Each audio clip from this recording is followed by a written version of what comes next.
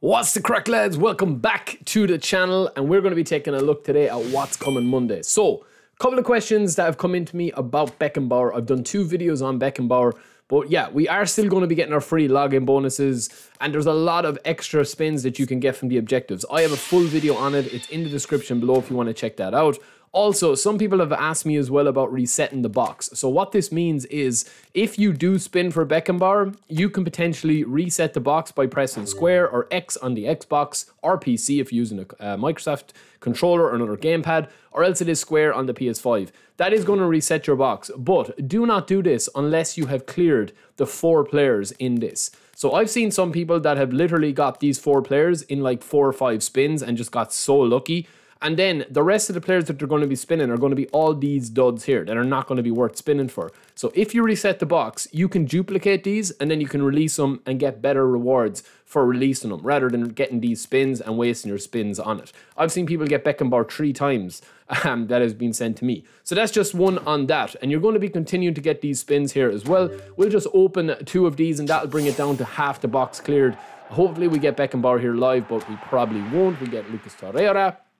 And this is going to be half the box filled uh, or cleared with 26 spins. We'll have more tomorrow, obviously, and more objectives. We're not going to get any of the players here, but that is going to be it. The, uh, the more objectives that you get cleared, the better. And there is no new objectives as of now. But tomorrow and next Thursday, there will be new objectives in here. So this will be refilled. So that's going to be something as well to keep an eye on, that there will be new objectives to be able to claim from tomorrow onwards and then on to Thursday. And then for the next 21 days or 20 days now or 19 days, you're going to have all of these that you will be able to clear. And obviously the box is going to be easily cleared so that you will definitely need to get you don't need to get all the objectives cleared, but it helps if you want to get it quicker.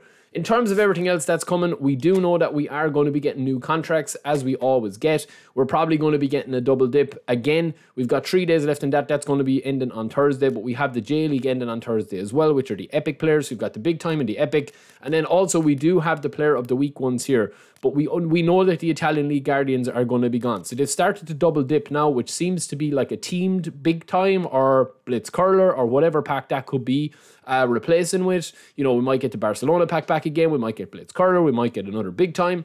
We also have the player of the week now paired with a new legend here that you see. So this is always going to be the way from here on until eFootball 25, unless they change it with June's content, which is going to be the next big update, I would say, for the Euros, right? But these Italian League Guardians are going to be gone, and also the player of the weeks are going to be gone. And they are going to be replaced, it looks like, by... Let me just get this up on the screen here. It looks like they're going to be replaced with this selection. So there's a European club selection attackers coming on the 20th of May, which is Monday, which is tomorrow. You've got Dembele, you've got Maddison, you've got a couple of others there, Ben Yedder. We have a couple of more there players there that you can see. But also, on top of that, we are going to be getting what it looks like to be European club attackers that have been in the database for a while.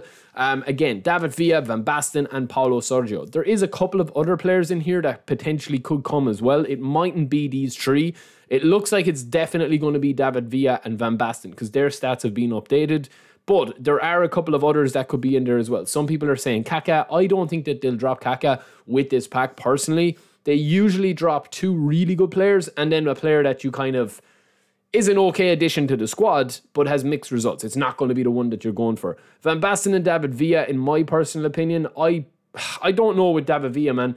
David Villa's stats look absolutely insane, like ridiculously good. Um, but it depends on how many levels he's going to have. It depends on a couple of other features that he's going to have with the card.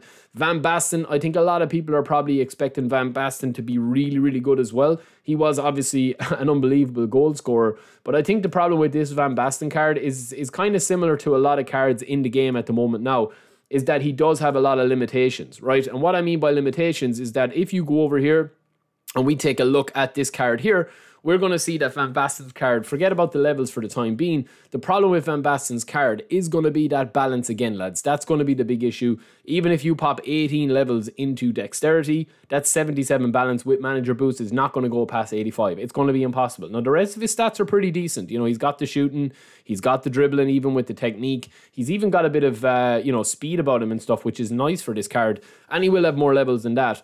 But David Villa, I think, is the big one. David Villa, even with 30 levels here, if we just max that out at 30 levels, usually when I'm looking at players now, I don't take the manager boost into consideration at all. But even if you were to pop, you know, 10 into shooting, 10 into dribbling, or 9 into dribbling, 10 into shooting, 10 into dexterity, you're still going to get 5 or 6 with the speed here. And even at that, you don't need that speed to be as high with the manager boost and stuff like that. You can kind of rein it back a little bit. His dexterity is pretty nice at that as well. And then you can add up his speed. Of course, speed is not really a big factor now in the game compared to, you know, what it used to be before. So I wouldn't worry too much about that. But that is a phenomenal card at 30 levels. And usually the big time cards like this have 31 levels at a minimum, if, if not 32, 33. So, you know, you're going to be having acceleration, balance, dribbling, tight possession, ball control, finishing, awareness everything's going to be into the 90s, you know. So, yeah, that is basically what it is. So, let me know, lads. Let me know what you guys think. We will be back, of course, and seeing what we get up to on Monday. We'll play a few more games. We'll chase divisions.